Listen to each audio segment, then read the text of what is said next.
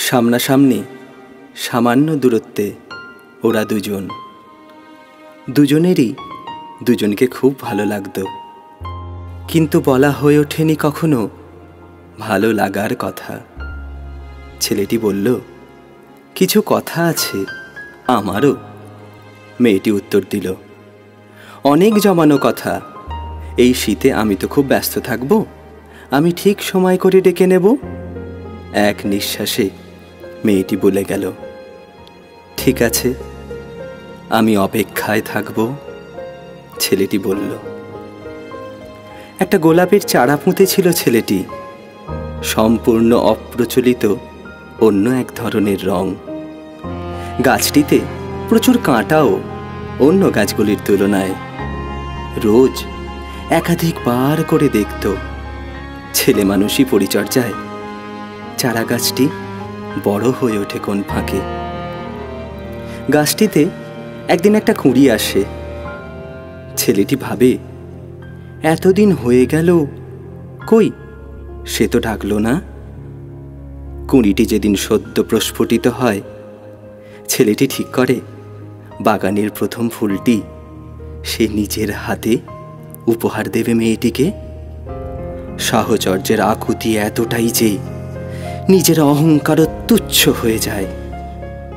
খুব যত্ন করে ছেলেটি ফুলটিকে গাছ থেকে তুলে আনে। তার নিজের হাতে তৈরি করা বাগানের প্রথম ফোটা ফুল। আনন্দে খেয়ালি করে না যে কাঁটা ফুটে তার হাত দিয়ে রক্ত ঝরছে। মেয়েটির বাড়ির সামনে আসতেই ছেলেটি দেখল, মেয়েটি আসছে অন্য প্রান্ত থেকে। কাছে আসতেই একটু ঝুঁকে গোলাপটি দিয়ে ছেলেটি বলে, আমার বাগানের প্রথম ফোটা ফুল। শুধু তোমার জন্যে। মেয়েটি হাসি মুখে গ্রহণ করে, তুমি তো আর ডাকলে না, তাই আমিই চলে এলাম। ছেলেটি আরও বলে, কই, ভেতরে আসতে বলবে না? আজ না, আজ থাক, আজ আমি একটু ব্যস্ত, মেয়েটি উত্তর দেয়। বেশি অপেক্ষা না করে মেয়েটি পেছন ফিরে ঘরে ঢুকে যায়। ছেলেটি বুঝতেই পারে না, কি করবে, কি ভাববে, কি বুঝবে? দরজার ছিটকেলি আটকে দরজার পাশে থাকা ইটের স্তম্ভে মাথা ঠুকে কাঁদতে শুরু করে মেয়েটি। আর হাতের মধ্যে থাকা গোলাপটি দরজার পাশে সোফার ওপরে রাখা এফএনএসি রিপোর্টের ওপরে গিয়ে পড়ে।